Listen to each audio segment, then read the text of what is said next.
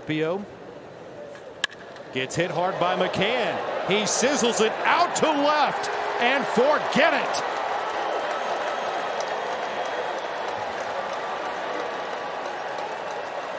The ball is flying indoors here at the Trop tonight.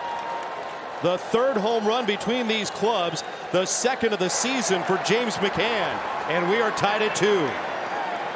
Yeah, James McCann tells his buddy Corbin Burnes, don't worry, I'll pick you up. I'll get that run right back for you.